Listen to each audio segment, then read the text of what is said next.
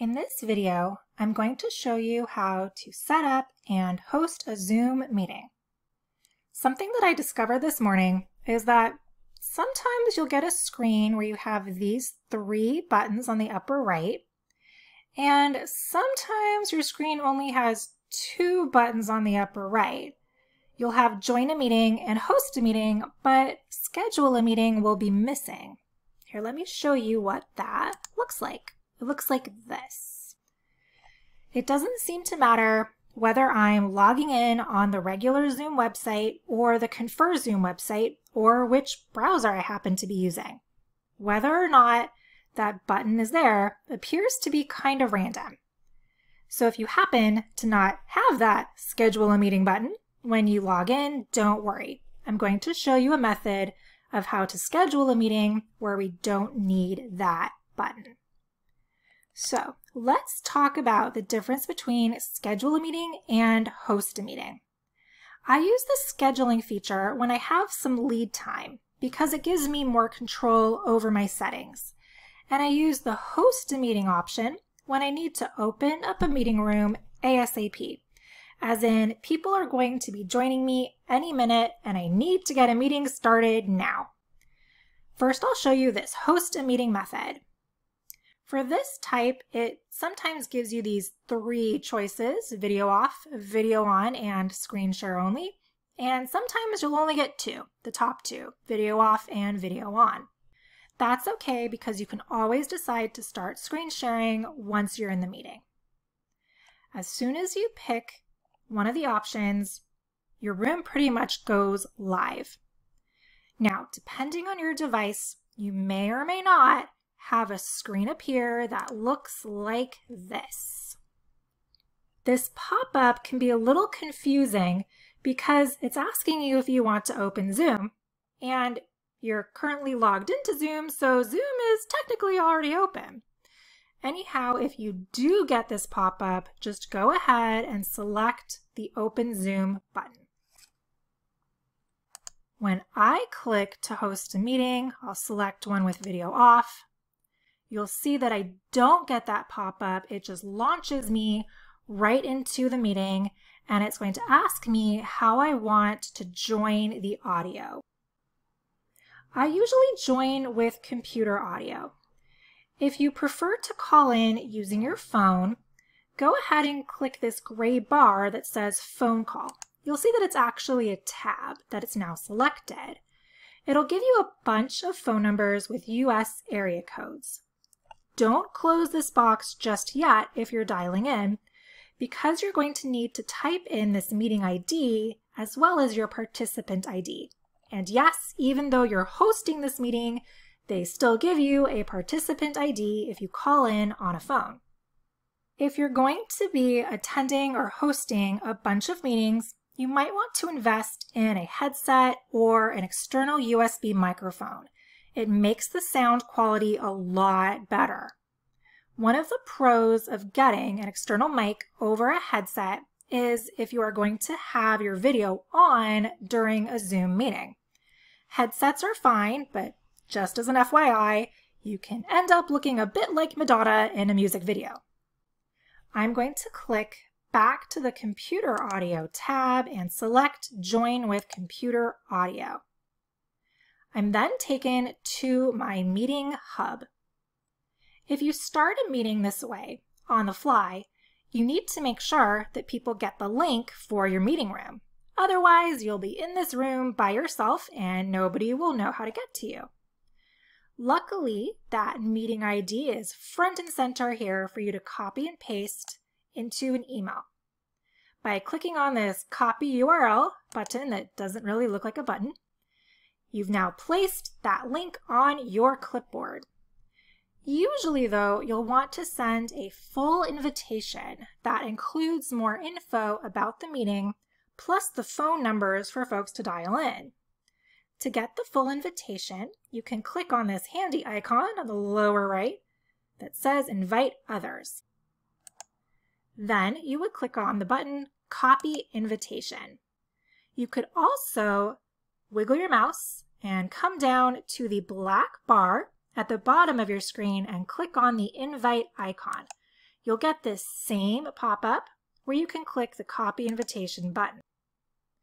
While these three icons here are handily front and center for emails, I actually don't use them because as you can see, if I click on that default email icon, it just opens up this whole thing and it's a funky version of Outlook. So I literally just go to my email and do it the old fashioned way. You just get rid of that. Okay.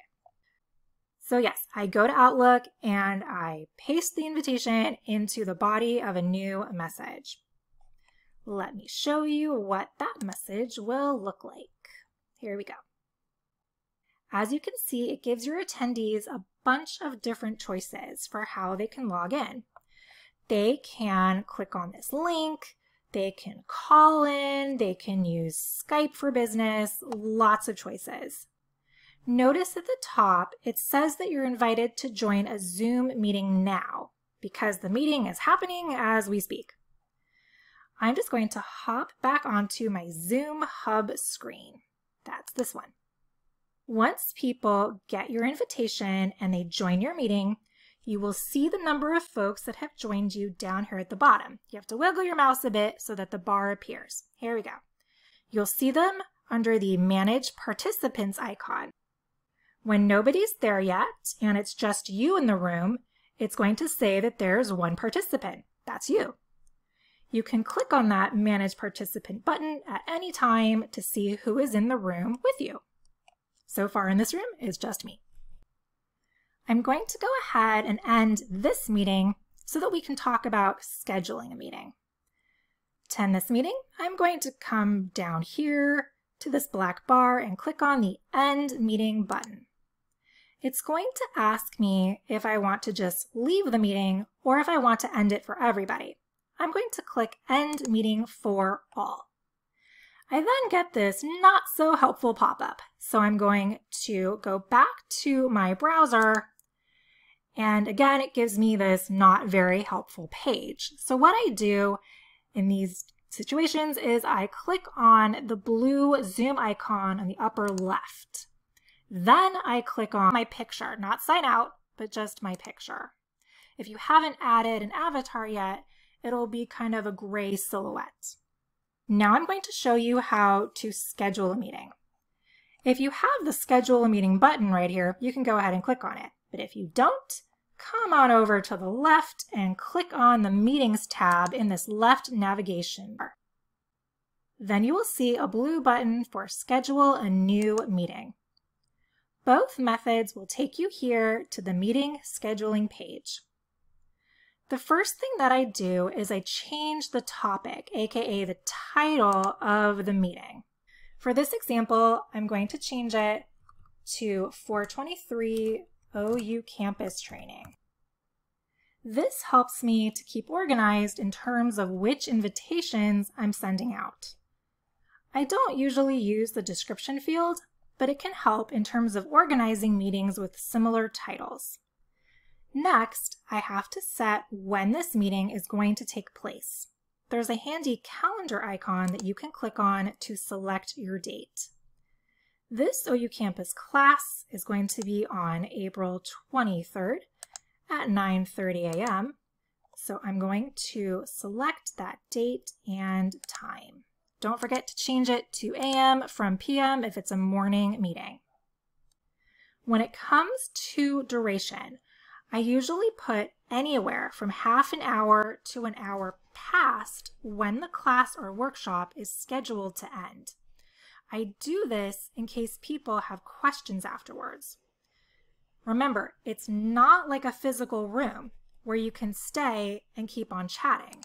If I put three hours, because that's how long the class is supposed to last, at 1230, Zoom is going to automatically end my meeting. Someone could be in the middle of a sentence and the meeting would just end. So that's why I like to always add in some extra buffer time.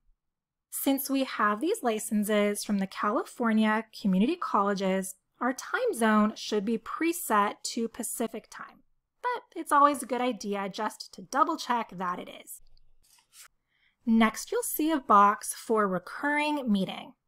If it's just a one-time meeting, then you'll want to leave this box unchecked. Let's pretend that this is a recurring meeting now. I'm going to quickly change it to a weekly brown bag.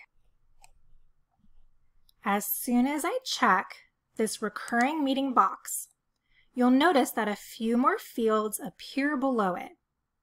The first one is the recurrence field. These brown bags are a weekly meeting, so I'm going to select weekly from the drop-down menu. Then it's going to ask me if this is a once a week meeting, or is it every other week, every third week, etc. I'm going to leave the drop-down menu choice at 1 because it's a once a week meeting. Then it's going to double check which day I'm talking about. And yes, these are Friday meetings, so I will leave Friday checked. This next row can be a bit confusing.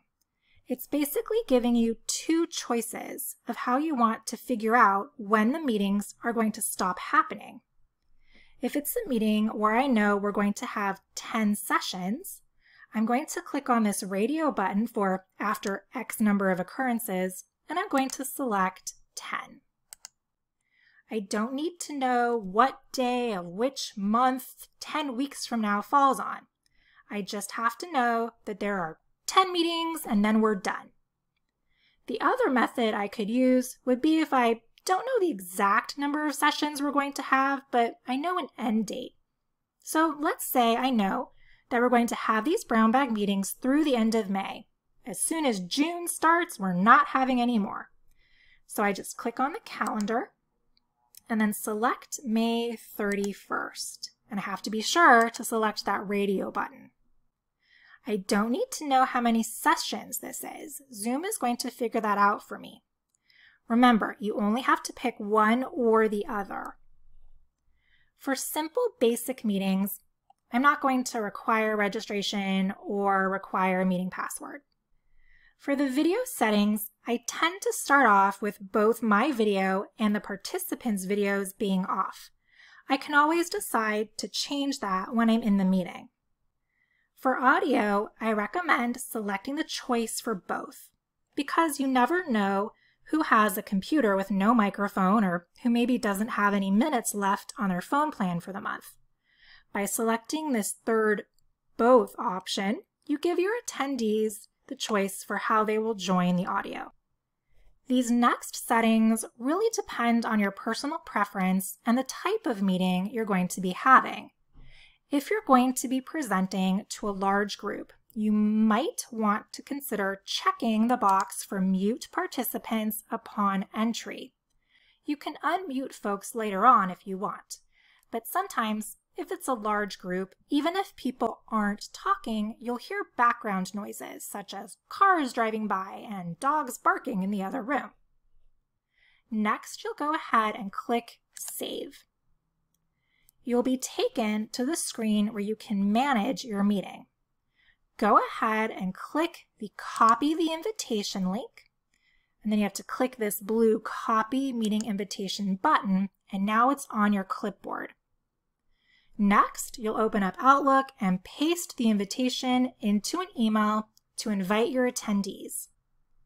If you want to double check that your recurring meeting got scheduled correctly, click on the My Meetings breadcrumb link here toward the upper left and you'll see that you have a whole bunch of meetings scheduled and they all have the same meeting ID, which is very handy.